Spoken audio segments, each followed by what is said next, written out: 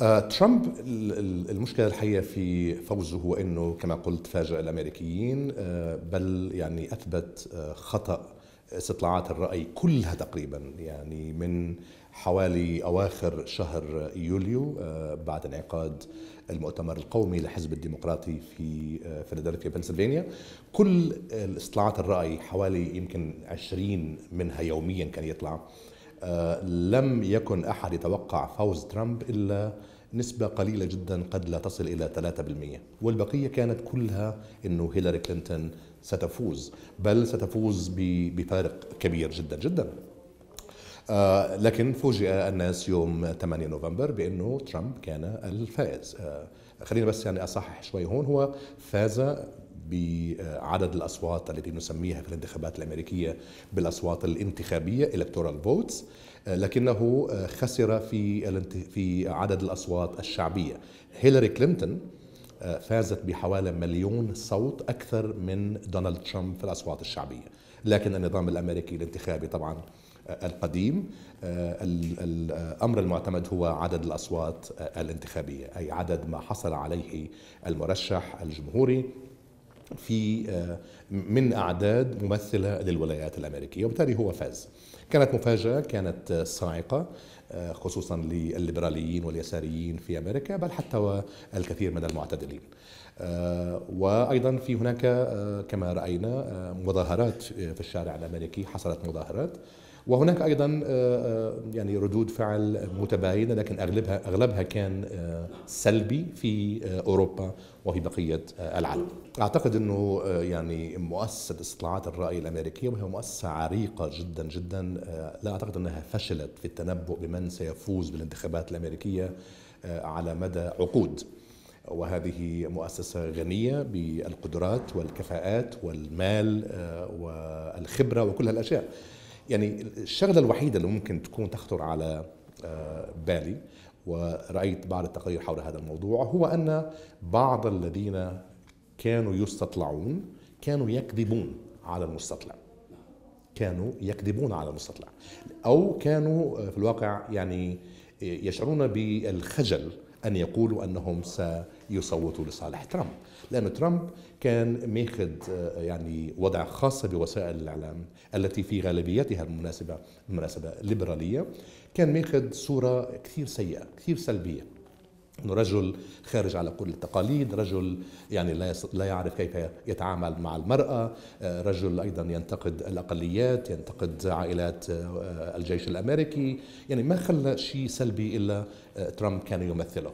فكثير من الناس كانوا الحقيقة يخجلون أن يقولوا إنهم سيصوتوا لصالح دونالد ترامب هذه قد تكون يمكن بعض يعني أحد الأسباب الرئيسية اللي تفسر خطأ استطاعات الرأي الامريكيه، الشغله الثانية كما حصل مرة على ما أذكر في إسرائيل يمكن في ثمانينات القرن الماضي كان هناك في منافسة انتخابية بين العمل لما حتى لما كان العمل حزبا قويا وبين الليكود طبعا. وكانت كل وسائل الإعلام تشير وقتها والاستطلاعات الرأي أن العمل سيفوز بفارق مريح. ثم جاءت المفاجأة يوم الانتخابات أن فاز الليكود. عاد بعض مستطلعي الرأي إلى هؤلاء الناس الذين تحدثوا إليهم من يومين وسألوهم لماذا؟ قالوا نحن كذبنا عليكم بشكل متعمد لأننا أردنا لليسار أن يستريح في بيوته يوم الانتخابات. لأننا لأنكم ستفوزون. ونحن سنذهب إلى صندوق الاقتراع وهكذا حدث. هذه أيضا إمكانية أخرى أن يكون بعض الناس بالفعل تعمدوا أن يعطوا صوتهم للمستطلعين الرأي لهيلاري كلينتون في حين كانوا في دواخلهم سيصوتون لصالح دونالد ترامب. آه، أولا يجب أن نذكر آه، ونتذكر أن هذه الأمريكا التي أتت بدونالد ترامب رغم كل مواقفه رئيسا للولايات المتحدة في 8 نوفمبر هي نفس الأمريكا التي أتت بباراك أوباما رئيسا للولايات المتحدة قبل ثمان سنوات. أيضا رغم أنه رجل كان على يسار آه، الوضع السياسي بأمريكا وكان يعني تقدميا في الكثير من طروحاته لكنه فاز وفاز بفارق كبير ومريح له في انتخابين 2008 و 2012 هذا من ناحية. من ناحية أخرى إنه آه، يعني فوز دونالد ترامب أيضا ليس فوزا عاديا هو فوز استثنائي إلى حد كبير. استثنائي لأن دونالد ترامب لم يتفوق بنظري على المؤسسة الحزبية الديمقراطية فقط بل هو أيضا عاد وتفوق على المؤسسة الجمهورية. إذا هو جاء أيضا يعني آه، مناقضا للمؤسستين الحزبيتين الراسختين في أمريكا منذ عشرات السنين المؤسسة الديمقراطية والمؤسسة الحزبية. هذا قد يقودنا إلى استنتاج أن ما مثله ترامب في هذه الانتخابات قد يكون بداية لحملة شعبية بعيدة عن الأحزاب السياسية التقليدية في أمريكا. لأنه كما قلت يعني في أواخر أيام حملته الانتخابية الجمهوريون بأعلى مستوياتهم تخلوا عنه ومع ذلك فاز في الانتخابات. بل ويمكن ساعد بعض مرشحيهم بالكونغرس في الفوز. إذا قد تكون هناك بداية لحملة شعبية في الولايات المتحدة رافضة للمؤسسة والتي يمكن تسميتها بيمين شعبوي إلى حد كبير. الخطورة بهذا الموضوع آه، إذا كانت هذه بداية حملة فعلا هي أنها قد تكون جزءا من حملة عالمية أوسع. ويمكن وضع فوز ترامب في إطار آه، آه، يعني مظاهر أخرى حصلت بالعالم مثل خروج بريطانيا من أوروبا بريكزت من حوالي ثلاث شهور. يمكن أيضا وضعه في إطار آه، ما يقال الآن عن إمكانية فوز اليمين في الانتخابات الفرنسية بالعام القادم. آه، رأينا الأسبوع الماضي الانتخابات التمهيدية بفرنسا وفوز فيون آه، بالانتخابات التمهيدية لليمين الفرنسي. إذا كان هذا الكلام صحيحا أي أن فوز ترامب يمثل بداية حركة شعبوية يمينية في العالم من الولايات المتحدة حتى أوروبا هذا الكلام حيكون في غاية الخطورة. أولا على الأقليات مهم جدا وأبرزها الأقليات الإسلامية آه، سواء في أوروبا أو أتمنى أن لا يحدث ذلك في الولايات المتحدة، المسلمون في الولايات المتحدة في الواقع يعيشون حياة ممتازة، ما فيش تمييز، ما فيش كل المواضيع هاي. لكن الآن إذا بيجي رئيس وبيشجع أنصاره على البدء في معاملة المسلمين بطريقة مختلفة وإذا وضعت سياسات مع أن وضع سياسات في الولايات المتحدة صعب يعني تغيير السياسات القائمة صعب إذا كان مخالفا للدستور إذا بدأت أو بدأنا نرى بعض من هذه المظاهر أعتقد أن أن ذلك أيضا سيؤدي إلى أن يتحول المسلمون إلى اتخاذ مواقف قد تكون معادية للولايات المتحدة وهنا تبدأ المشكلة. هنا تبدأ مشكلة حقيقية أن المسلمين الذين يعيشون في الولايات المتحدة وقد رأينا بعض المظاهر السلبية من بعضهم لكنهم لا يعبرون عن المسلمين الأمريكيين. لكن إذا رأينا سياسات وتصرفات من أنصار ترامب ومن أنصار هذه الحملة ضد المسلمين إذا عدد أكبر من المسلمين الأمريكيين سيبدأون بالتصرف بطريقة لم نشهدها على مدى ال 50 60 سنة الماضية. هذه مشكلة. هذا هنا سيبدأ الصراع. لأنه آه الذي أنقذ أمريكا من كل آه مظاهر الأعمال الإرهابية رغم حدوث بعضها كما قلت هو أن المسلم الأمريكي يشعر بأنه يعامل معاملة يعني تحت القانون كما بقية الناس، ليس هناك تمييز لا في الوظائف ولا في الإسكان ولا في آه، الجواز السفر ولا كل المواضيع هاي، اذا المواطن يشعر بأنه مواطن كامل المواطنة، إذا بدأنا نشعر بأن آه، بأن المسلمين يشعرون بأن هناك مواقف سلبية ضدهم هذا سيحول موقفهم وهنا تبدأ مشكلة على مستوى أوسع في العالم. قد يكون تعبير عن أزمة لكنه أعتقد أيضا لا يعني علينا أن أن نكون موضوعيين إلى حد كبير. المواطن في أي بلد سواء ديمقراطية أو غير ديمقراطية ما يهمه في, في الأساس هو أمنه الشخصي. إذا شعر هذا المواطن بأن أمنه قد تهدد هناك مشكلة والمواطن كما قلنا حتى في الديمقراطيات يشعر بأنه مستعد أحيانا للتخلي عن بعض الحقوق المهمة كحرية التعبير، حرية التجمع، حرية العمل السياسي إلى آخره إذا كان أمنه أمنه الشخصي مهدد. أنا أعتقد أنه خلال السنوات القليله الماضية هناك شعور سواء في أوروبا أو في الولايات المتحدة بأن أمن الناس الشخصي بدأ يتهدد. وهذا قد يدفع باعتقادي وأحذر منه يدفع الناس في المجتمعات الديمقراطية الليبرالية الغربية إلى التخلي عن بعض هذه الحقوق لأن أمنهم الشخصي قد تهدد. وبالتالي المسلمون وأنا يعني أحذر الحقيقة بموضوعية المسلمون ليس كل المسلمين ولكن بعض المسلمين الذين يقومون بهذه الأعمال الإرهابية يدفعون المجتمعات الليبرالية الغربية الديمقراطية إلى التخلي عن آرائها وتحويل أوروبا الغربية الديمقراطية وأمريكا إلى مجتمعات ديكتاتورية. هذه قضية في غاية الأهمية وأعتقد أن المسلمين سيلومون لا أحد بل أنفسهم في آه، هذا التحول إذا حصل في أوروبا أو في الولايات المتحدة. دعني أقول التالي، اولا الرئيس آه، الأمريكي في مؤسسة آه، السياسة الخارجية الأمريكية هو عبارة عن عنصر من عدة عناصر، يعني الرئيس لا يستطيع لوحده أن يغير السياسة الخارجية الأمريكية بكاملها، هناك ليس كما تقول نظرية المؤامرة هنا بأن هناك مؤسسة تحت الأرض تدير السياسة الخارجية الأمريكية. هذا كلام فاضي صراحة. لكن هناك مجموعة مؤسس مجموعة يعني عناصر أو مكونات آه، تصوغ السياسة الخارجية الأمريكية. آه، الرئيس بالتأكيد هو أولها وقائدها لكن هناك أيضا الكونغرس الأمريكي هناك الفرع القضائي هناك الرأي العام بمؤسساته البحثية بصحفه بمجلاته هناك السوشيال ميديا إذا الرئيس لا يستطيع أن يعمل في فراغ. يعني في الأوقات القليلة التي كان الرئيس الأمريكي يستطيع أن يغير اتجاه أمريكا الخارجي بشكل سريع هي في المواقف التي يشعر فيها الأمريكي أيضا بأنه مهدد. بعد سبتمبر 11 مثلا بعد 11 سبتمبر شعرنا بأن الرئيس آنذاك الرئيس بوش الابن قد اتخذ سياسات قد تكون قد يكون الأمريكي غير موافق عليها. لكن هذه الفترة من انعدام الأمن الشخصي عند الأمريكي جعلته يعني يمنح الرئيس الثقة الكاملة في أن يسير البلاد كما يريد إذا ما كان ذلك سيؤدي إلى استعادة الأمن للأمريكي أنا لا أعتقد أن الأمريكي الآن يشعر بأنه أمنه المهدد مهدد كما كان الوضع في بعد 11 آه، آه، سبتمبر. هناك شعور بالقلق هناك شعور بنمو تيارات إسلامية إرهابية هناك أعمال إرهابية حصلت في الولايات المتحدة وفي أوروبا وهذا استغلها طبعا بالتأكيد دونالد ترامب. لكن لا أستطيع أن الشعب الأمريكي وصل إلى مرحلة أن يعطي الرئيس كامل الثقة في أن يسير السياسة الخارجية كما يريد. نعود إلى سؤالك بشكل مباشر.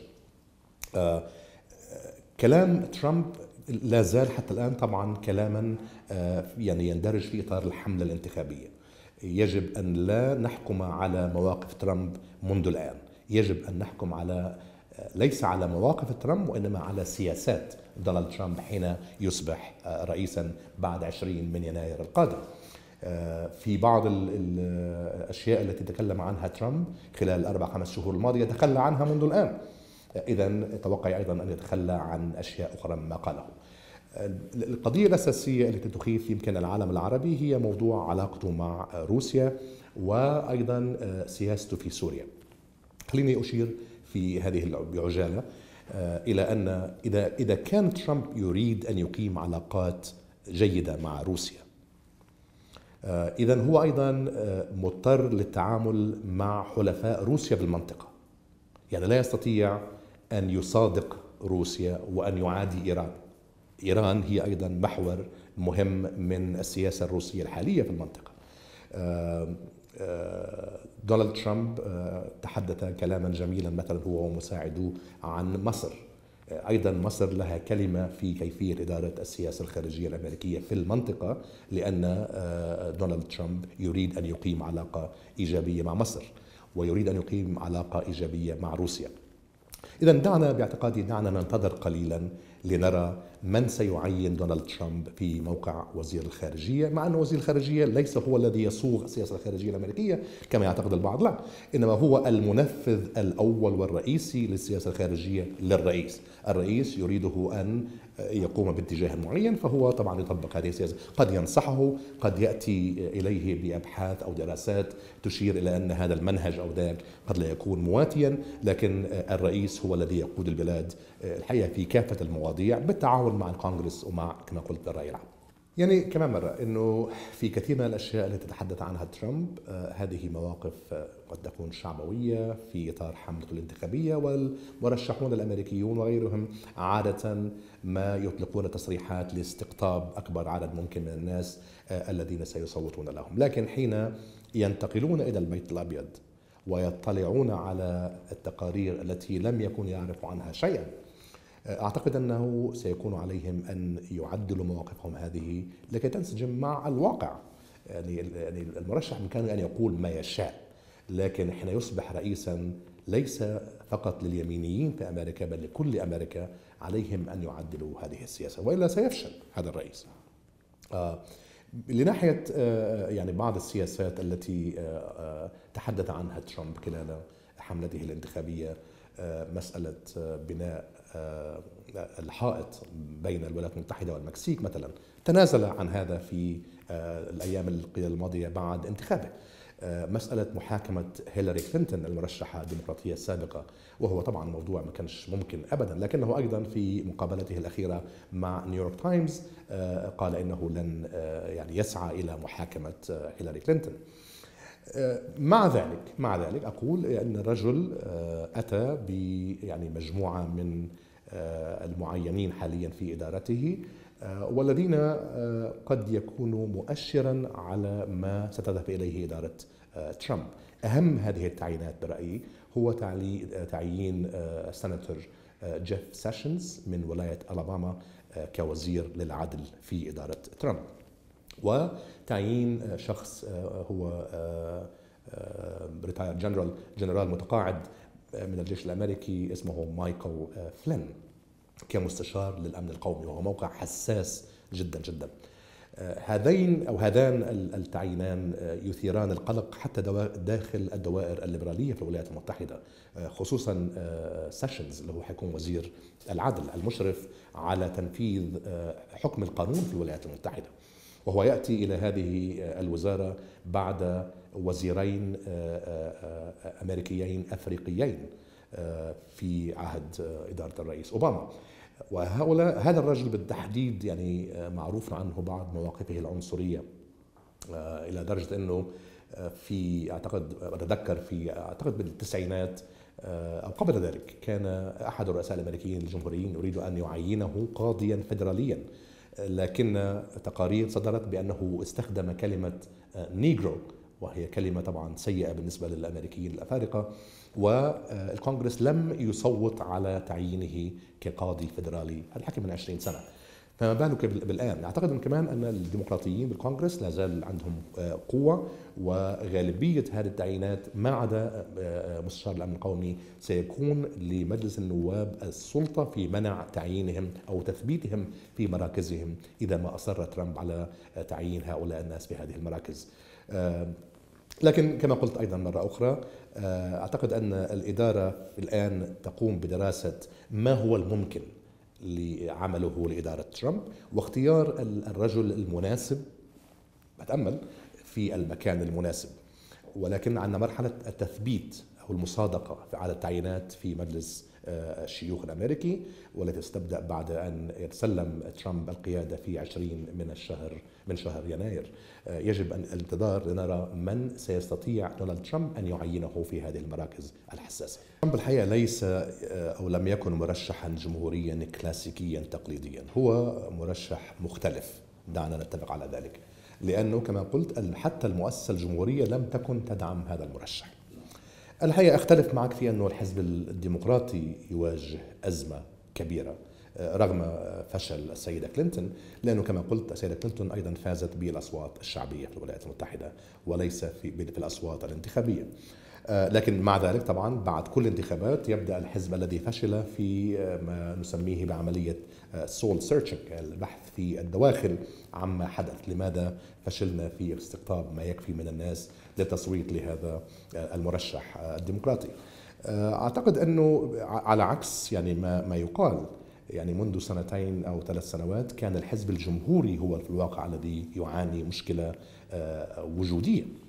لأنه آه، يعني استعدى أجزاء كبيرة من المجتمع الأمريكي خصوصا الأقليات وخصوصا الأقلية الثانية من ناحية الكبر وهي آه، الناس المتحدرين من أصول إسبانية الهسبانكس في أمريكا. تعرف الأقلية الأولى هي الافارقه الأمريكيين والثانية من حيث العدد هي هم الإسبانيول أو ال Hispanics آه، الحزب الجمهوري الحقيقة بدأ ينكمش على ذاته ويتحول إلى حزب يميني.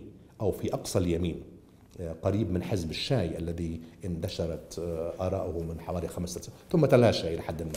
لكن إذا نظرت إلى وضع الحزب الجمهوري حاليا تجد بأنه هو الذي يعاني في الواقع من أزمة وجود من أزمة عضوية من أزمة إمكانية أنه ينتصر في الانتخابات المقبلة أو لا. فجاء ترامب ردا على هذا الوضع المنكمش للحزب الجمهوري وطرح نفسه بعيدا عن المؤسسة الجمهورية بعيدا عن الأفكار الجمهورية. وربما لذلك فاز ترامب لأنه لم يكن مرشحا جمهوريا تقليديا.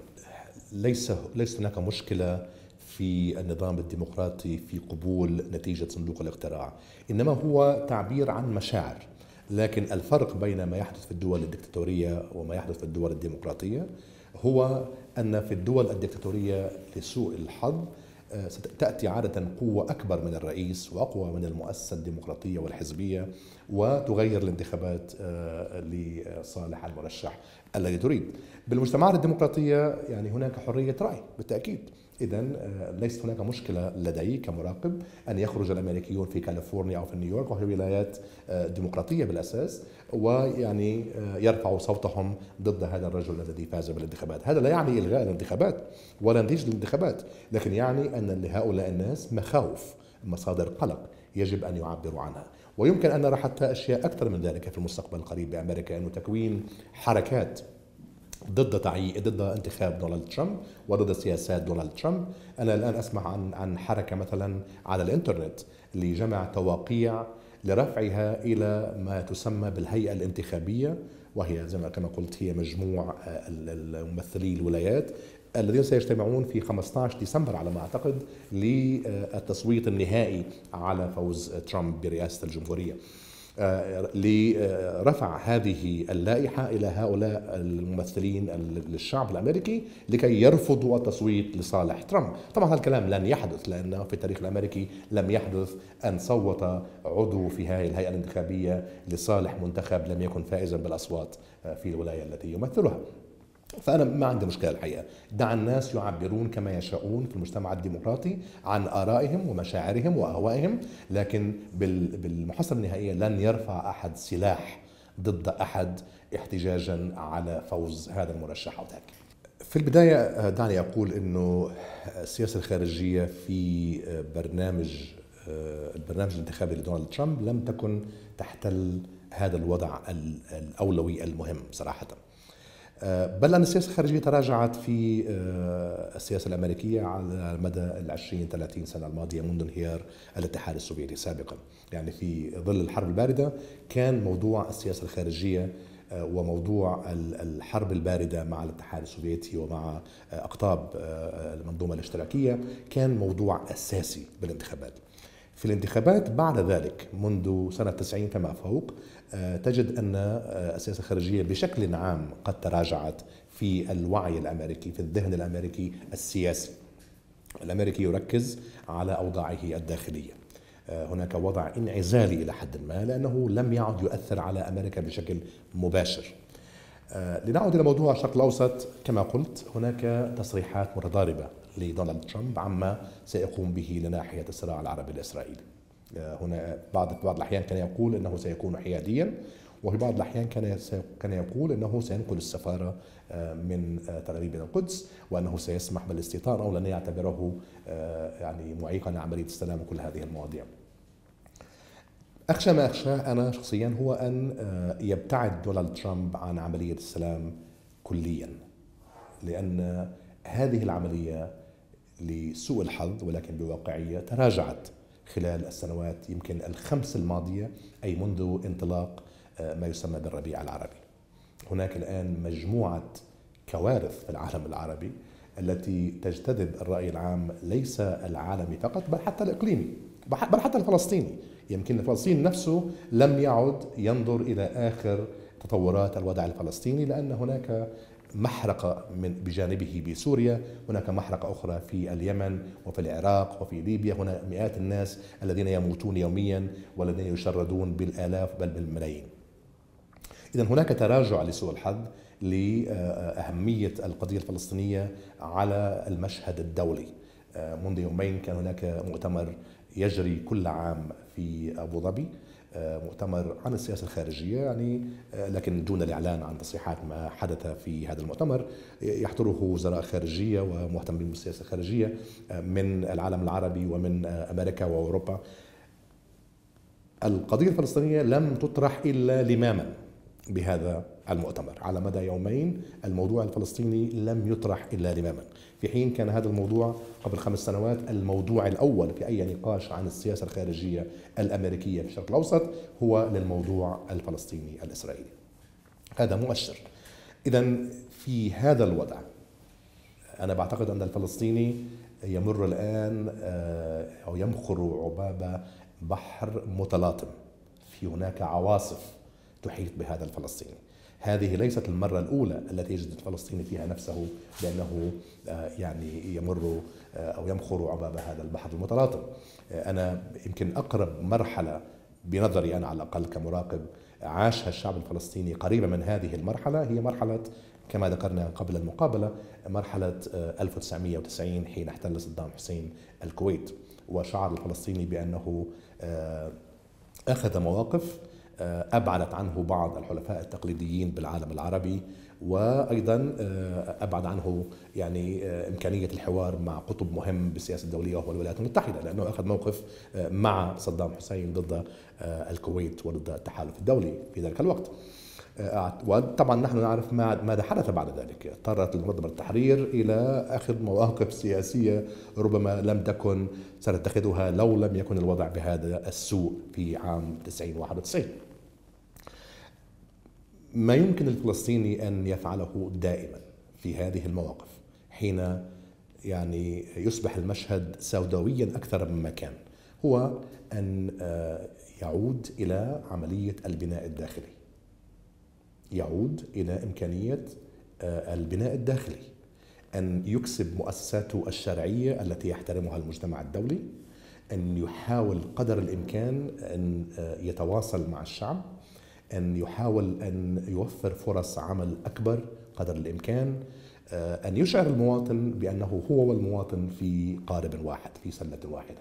وأن الجميع يواجهون هذا الوضع الصعب الذي يواجهه الفلسطيني. كما قلت ليست هذه هي المرة الأولى ولكنها أيضا آه، وضع صعب الآن. في ظل تراجع أهمية القضية الفلسطينية تراجع الدعم العربي والإقليمي للموضوع الفلسطيني لأسباب عديدة أهمها أن العالم العربي مهتم بقضايا الداخلية وثلاثة أيضا يعني مجيء واحد زي دونالد ترامب كرئيس الولايات المتحدة الذي سيتبع سياسات قد تكون غير كلاسيكية غير تقليدية مقارنة بالسياسات التي انتهجت على مدى 60 سنة ماضية في يعني في ظل إدارات أمريكية جمهورية وديمقراطية.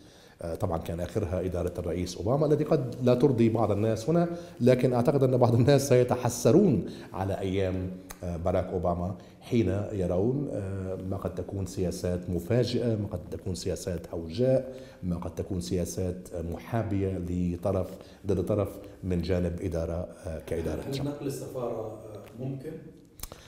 نقل السفارة الحقيقة إذا سألتني إنه هل سيقوم ترامب بنقل السفارة؟ حأقول لا أعرف ولا أحد يعرف ولا حتى ترامب يعرف لكن هل ممكن؟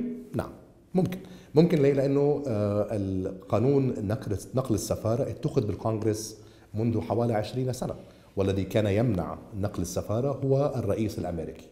الرئيس الأمريكي يصل الحكم وكل سنة على الرئيس الأمريكي أن يوقع بيانا يقول فيه إنني أعارض نقل السفارة الأمريكية من تل أبيب إلى القدس لأسباب تتعلق بالأمن القومي الأمريكي. إذا الرئيس هو الذي كان يمنع نقل السفارة. إذا القانون موجود.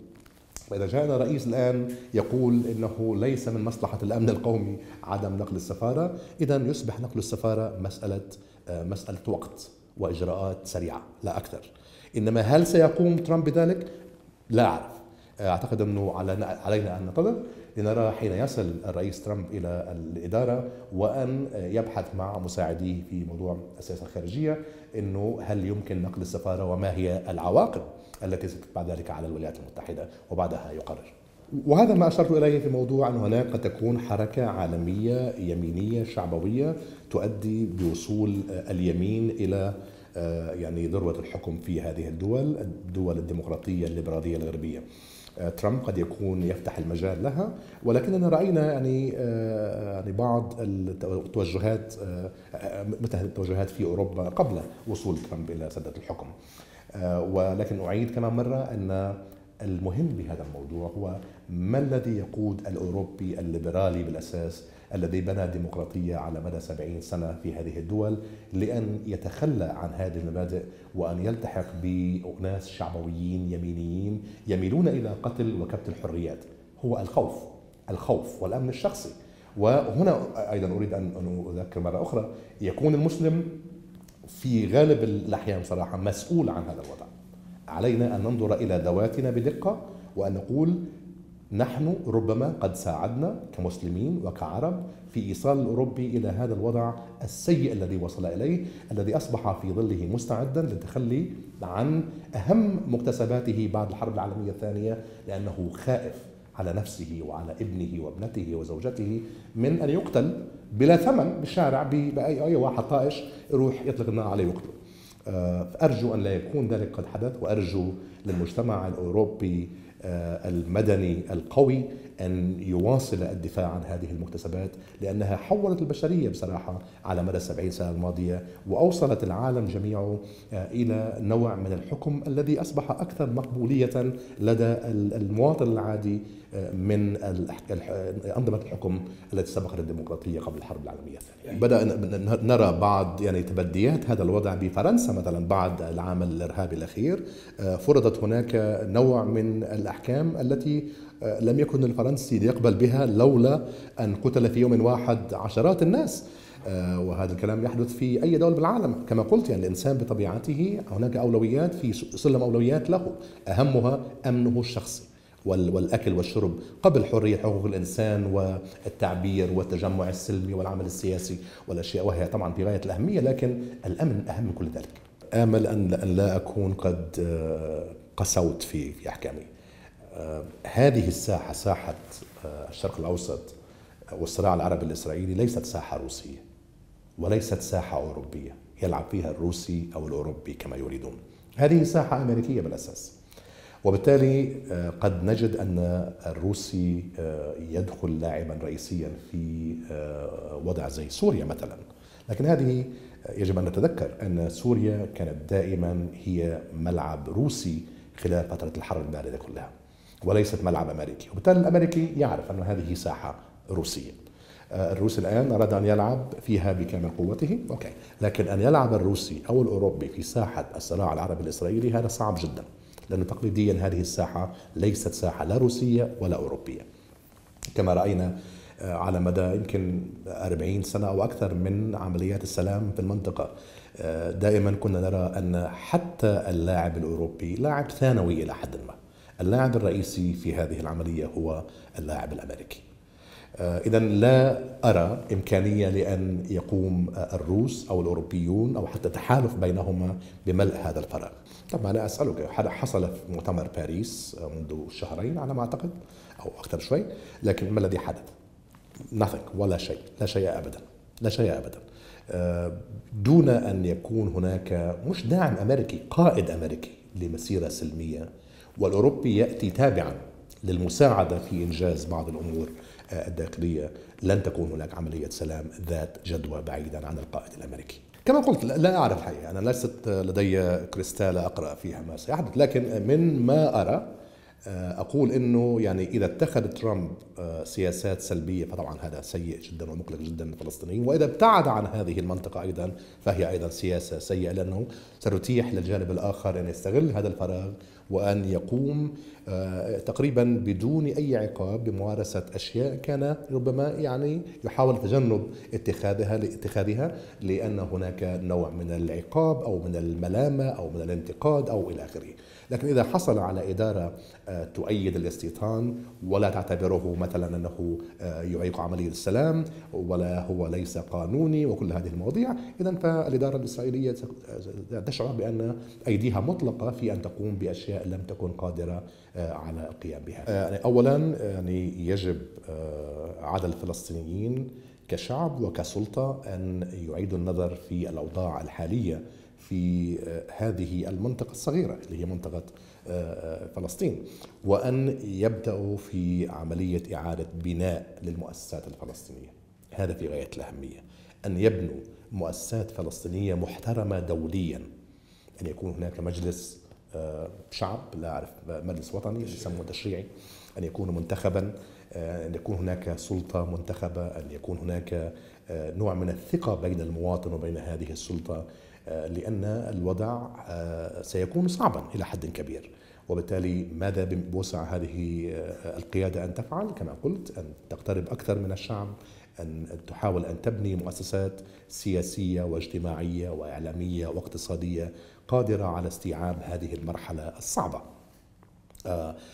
أيضا بإمكان يعني هذه القيادة أن تبدأ في البحث عن ربما حلفاء مستعدين في الإقليم أولا ل يعني محاولة درء المصاعب والتحديات التي ستواجه هذه القيادة والشعب الفلسطيني في المستقبل. كما ذكرت قبل قليل تواصل مع مصر لأن مصر يمكن أن تكون لديها علاقات معقولة قياسا بدول أخرى مع إدارة ترامب. يمكن لها حتى أن تتواصل مع روسيا. مع أن كما قلت روسيا ليست القائدة لكن أيضا إذا كانت إدارة ترامب تريد أن تقيم علاقات صداقة مع روسيا إذا فالتواصل مع روسيا قد يكون أمرا مفيدا. لكن أيضا يعني أقول أن بإمكان الشعب الفلسطيني والقيادة الفلسطينية التواصل مع إدارة ترامب مباشرة. وأن تبحث عن أي فرصة قريبة للتواصل مع هؤلاء الناس المساعدين المقربين من ترامب خصوصا ذكرت اسمه قبل قليل مايكل فلين مستشار الأمن القومي الذي سيكون هو المسؤول عن صياغة المطبخ السياسي في البيت الأبيض للسياسات الداخلية والخارجية أيضا. التواصل مع أي صديق في الولايات المتحدة يمكن أن يكون أو تكون له علاقة مع أي أحد مقرب من ترامب لإيصال وجهة النظر الفلسطينية ولمد يد التعاون مع هذه إدارة. الآن تصبح بعد شهرين هي الإدارة المكلفة بإدارة الشؤون الخارجية والداخلية وبالتالي مقاطعتها لن تجدي. يجب التعامل معها. هذا وضع استثنائي والفلسطينيون تعاملوا في الماضي مع قيادات أمريكية كانت سلبية أو أكثر سلبية من غيرها وعليها أن تواصل البحث عن ناس من يعني مقربين لترامب للتواصل معهم على الأقل وضعهم في صورة ما يحصل وما يمكن للفلسطينيين أن يفعلوه إذا ما اتخذت إدارة ترامب سياسات أكثر إيجابية تجاه القضية الفلسطينية. لسوء الحظ كمان أقول كما قال الرئيس أوباما أيضا منذ يومين أو ثلاثة أنه ليس متفائل في المدى المنظور للوضع بسوريا. وأنا أعتقد الحقيقة أن يشارك الرئيس أوباما هذا التصور بأن الوضع بسوريا لن يكون يعني جيدا على الأقل خلال الفترة المنظورة. أعتقد أن أنه في ظل يعني الشهرين الأخيرين من إدارة أوباما وفي ظل مقدم إدارة تقول أنها مستعدة علانية للتعاون مع روسيا في المسألة السورية هناك توجه ربما لإنهاء كل الوجود المعارض للنظام السوري بسوريا. ونحن نتحدث هنا عن كما يحدث بحلب حاليا نتحدث عن المزيد من الدماء بسوريا المزيد من الكوارث المزيد من الدمار والقضاء على كل ما كان يشار إليه على أنه معارضة سورية سواء كانت معارضة إسلامية أو حتى معارضة وطنية ليبرالية. اذا بالواقع المشهد السوري كاتم إلى عفوا قاتم إلى حد كبير في المرحلة يعني خلال الست أشهر أو سنة القادمة. لأنه ترامب كما قلت أيضا يعني خرج على المألوف في السياسة الأمريكية وبدأ يوصل رسائل إيجابية عن روسيا للمجتمع الأمريكي في في الذهنية الأمريكية الروس هو عدو صراحة وخصم على الأقل بعد الحرب العالمية بعد نهاية الحرب الباردة. لكن ترامب بدأ يتحدث عن أن بوتين الرئيس الروسي هو رئيس يتمتع بقيادة أفضل من قيادة الرئيس أوباما. هذا كلام جديد بالسياسة الأمريكية وكما قلت هذا يعني قديش أصبح دور السياسة الخارجية منحسرا بالسياسة في أمريكا كلها والانتخابات بأمريكا كلياتها. فطبعا ترامب يعني قصدي بوتين أكيد إنه يعني شعر بالسرور أن صديقه الذي مدحه بالانتخابات هو الذي الآن أصبح أو سيصبح سيد البيت الأبيض. لكن كما قلت أعتقد إنه يمكن يكون من المبكر الحكم على ما ستكون عليه سياسات دونالد ترامب بعد أن يصبح رئيسا وليس قبل ذلك. فور دخوله إلى البيت الأبيض سيتسلم مجموعة من الأوراق من كل الدوائر المهمة في العمل السياسي الأمريكي وهناك أشياء قد يكتشف ترامب أنه لم يكن يعلم بها وبالتالي أطلق هذه التصريحات وسيكون مضطرا إلى الانسحاب تدريجيا من هذه التصريحات بعد شهرين أو ثلاثة. ترامب أدلى بالعديد من التصريحات آه، التي قد تفهم على أنها سلبية آه، ضد آه، دول الخليج العربية. لكني لم يعني أشهد أي تصريح بعد انتخابه كرئيس للولايات المتحدة عن هذه القضايا. ومع ذلك مع ذلك يعني آه، آه، قد لا أستغرب أن يكون هناك تغيير آه، وهو قد يكون تغييرا يعني دراماتيكيا في العلاقة التقليديه بين الولايات المتحدة وبين دول الخليج على مدى 50 60 سنة ماضية.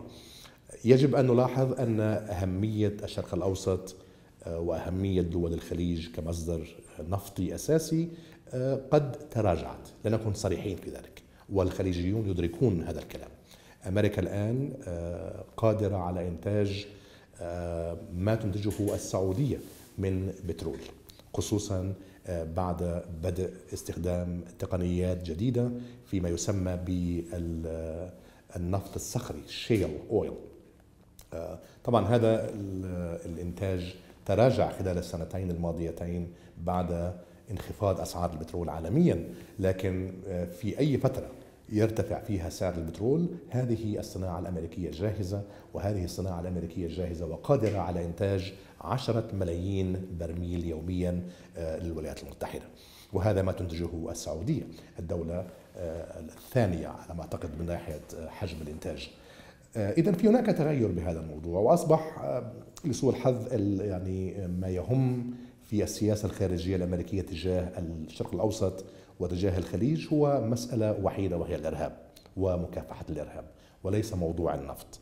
آه، طبعا إضافة إلى أهمية إسرائيل في المنطقة. إسرائيل أيضا مهمة دائما وحاضرة دائما في صناعة القرار السياسي الخارجي الأمريكي.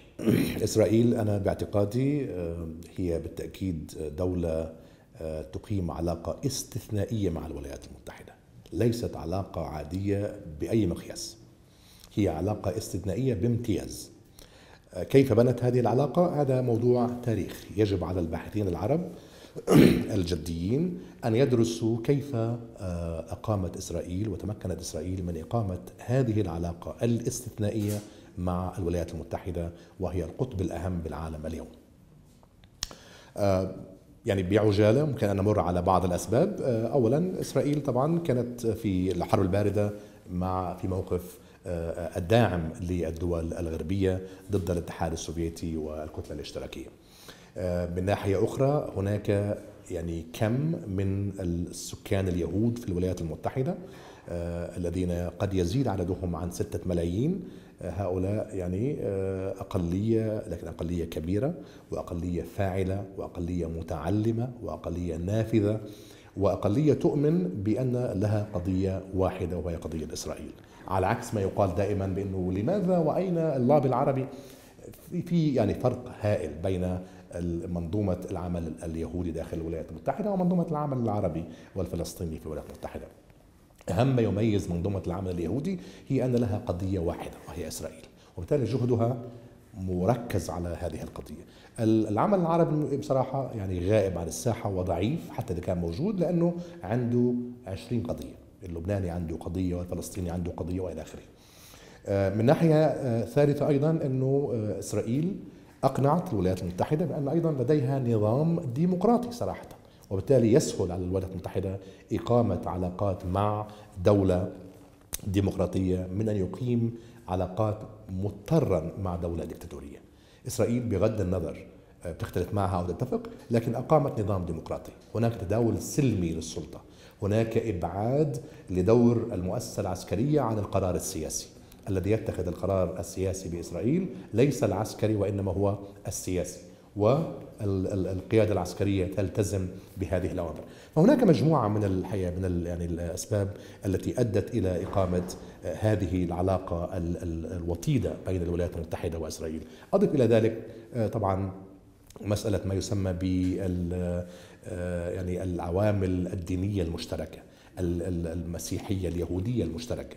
والإسلام إلى حد كبير بعيد عن هذه الخلطة عن هذا المزيج الموجود في أوروبا أو في آه، الولايات المتحدة، الإسلام غريب، الإسلام دخل إلى هذه الدول في خلال ال 50 60 سنة الماضية مع إنه البعض يقول إن المسلمين دخلوها آه، مع كولومبوس، آه، لكن هناك يجب أن نعترف بأن هناك كما قلت مجموعة يهودية ناشطة داخل الولايات المتحدة وتعمل ضمن النظام السياسي الأمريكي، تعلمت كيف تدخل إلى هذا النظام وأن تحول عددها وأصواتها وأموالها إلى دعم في السياسة الأمريكية لإسرائيل. على السطح هو ملف سياسة خارجية، لكن أنا أعتقد أنه أيضا موضوع إسرائيل أكثر من أي ملف سياسة خارجية عادي مثل ملف كوبا أو ملف إيران أو ملف تركيا أو ملف آه، أي شيء.